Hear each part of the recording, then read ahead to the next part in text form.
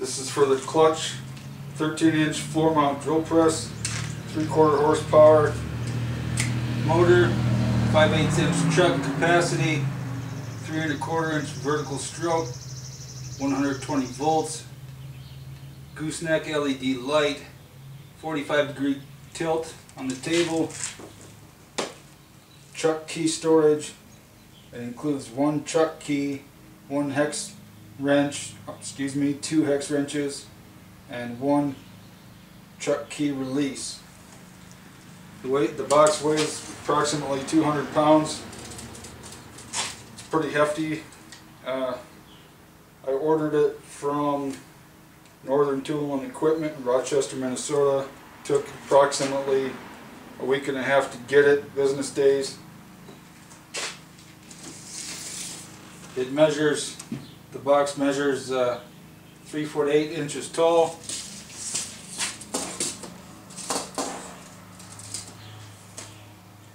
Nineteen inches wide. About eleven inches deep. That'll tell you whether you have to use a SUV or a small trailer or if you can fit it in your car.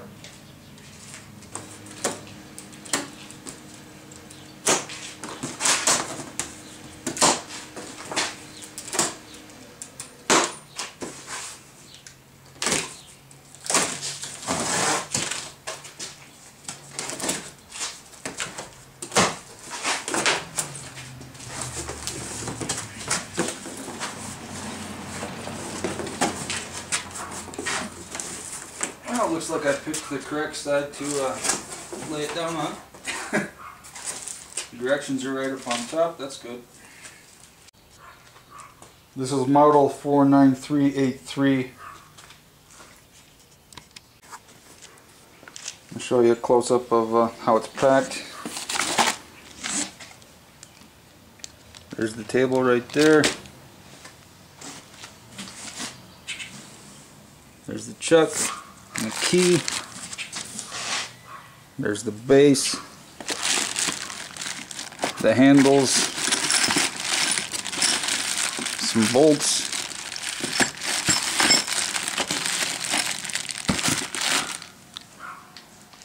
And uh, the motor's right down there. Turn over the base, and here's the LED light. Looks like the styrofoam did its job.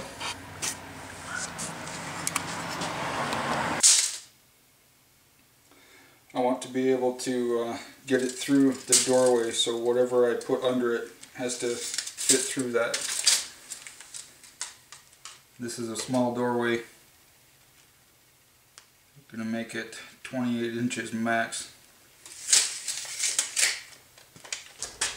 Alright, got the table out. That's enough to lift the styrofoam off.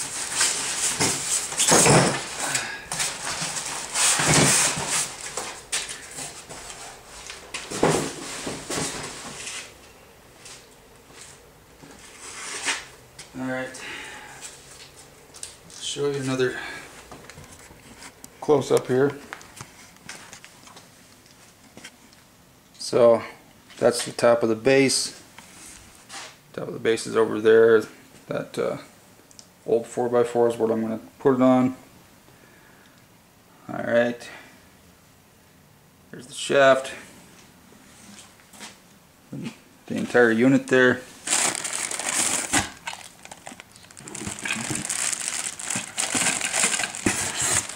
Okay. And the base for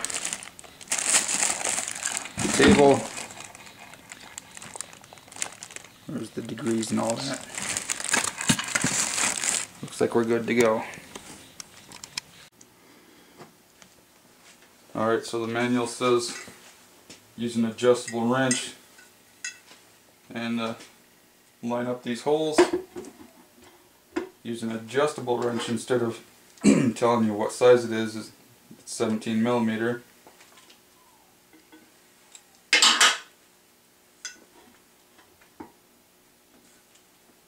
once all the bolts are down to the surface and snug them down. Feels like it's about a quarter of a turn.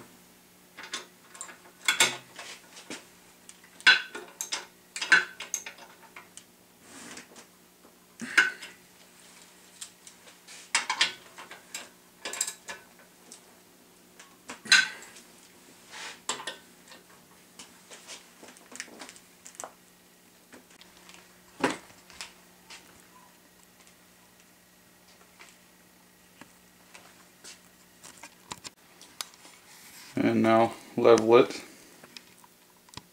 so far I got it level.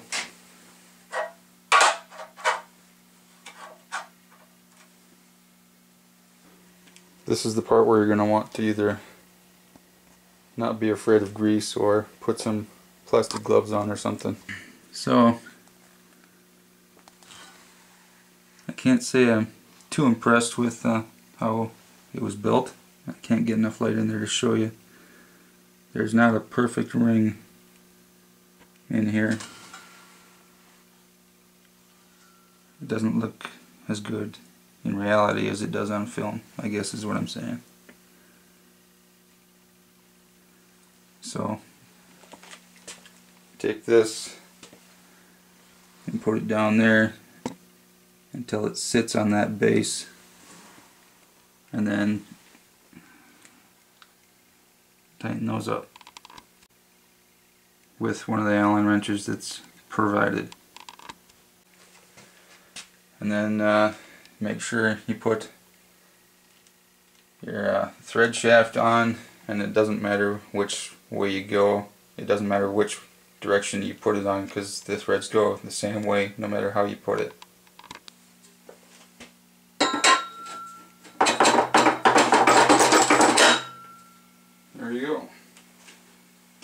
Tighten those up. Alright, so take off the retaining ring with the smaller Allen wrench. Don't get it too loose, you'll lose it.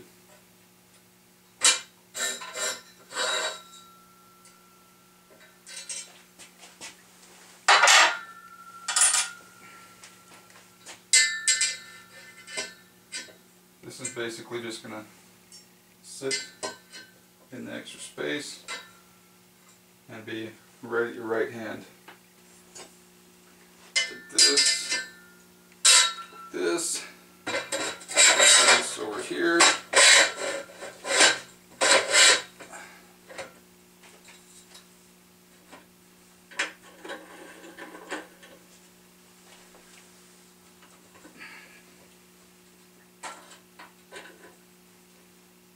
Oh, I see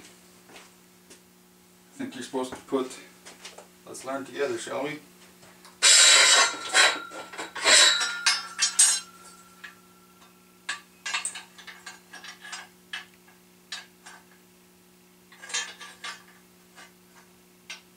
Put it on the teeth first.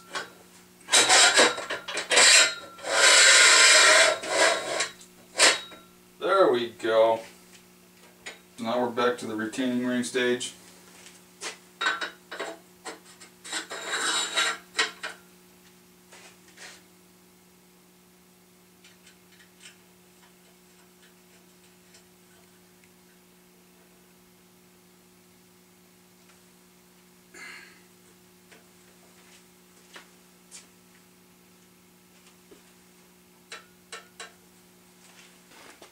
Okay, if you get annoyed with bad English like I do, you can tell that this was printed outside the country.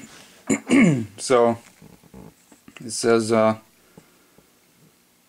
uh, step 3A, take the retaining ring off and table bracket.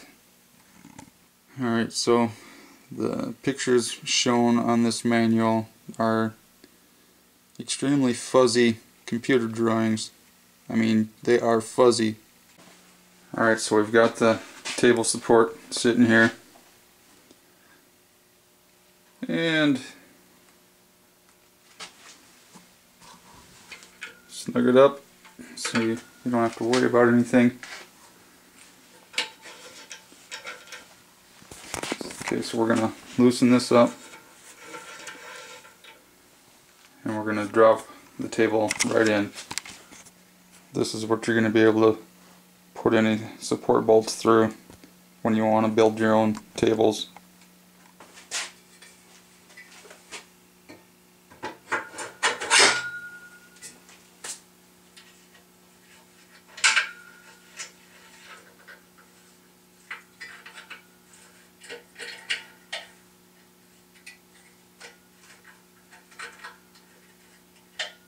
Next is to install the crank handle.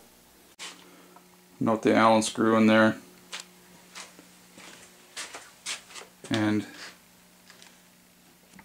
I don't know if the camera can see. Oh, okay, there's a retaining ring right there.